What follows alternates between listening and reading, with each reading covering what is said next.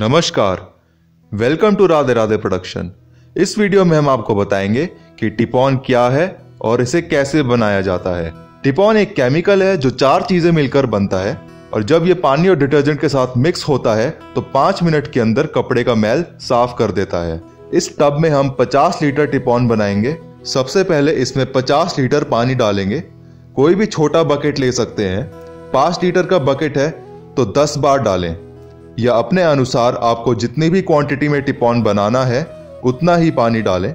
अब हम इसमें कास्टिक डालेंगे, जिसे इंग्लिश में कॉस्टिक सोडा भी बोलते हैं। इसे अच्छे से मिक्स कर लें।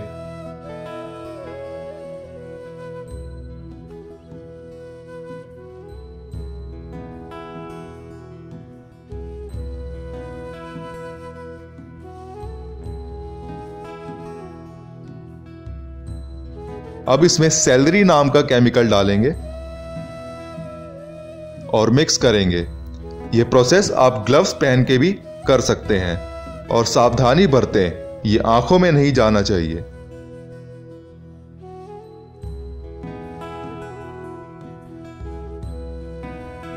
अब इसमें एक और केमिकल मिलाएँगे। इसका नाम तो हमें नहीं पता, लेकिन टेंशन वाली बात नहीं है, क्योंकि ये सामान साथ में आता है। आपको बस केमिकल शॉप पर जाके ये बोलना है कि हमें टिपॉन बनाने का सामान चाहिए। ये सूखा ही मिलता है। तकरीबन साढ़े तीन सौ से चार सौ रुपए में ये सामान हम लेते हैं। अब चौथी और आखिरी चीज़ जो हम इसमें डालेंगे, वो है नमक। 50 लीटर में 400 ग्राम नमक डालेंगे। अगर घोल गाढ़ा हो गया तो ठीक है, वरना 50 ग्राम और डाल सकते हैं। ये प्रोसेस केमिकल शॉप वाले को पता होता है और वो केमिकल्स की नंबरिंग करके आपको बताएगा कि पहले कौन सा केमिकल डालना है।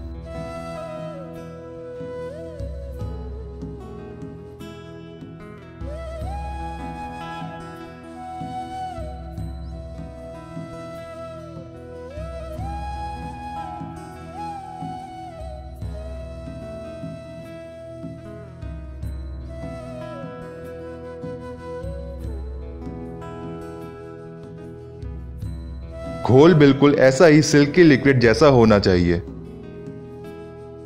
तो हम आशा करते हैं वीडियो आपको पसंद आया होगा। हम आगे भी ऐसे ही यूजफुल वीडियोस आपके लिए लाते रहेंगे। हमारा नेक्स्ट वीडियो का नोटिफिकेशन पाने के लिए हमारे चैनल को सब्सक्राइब करें और बेल आइकन भी प्रेस करें। धन्यवाद।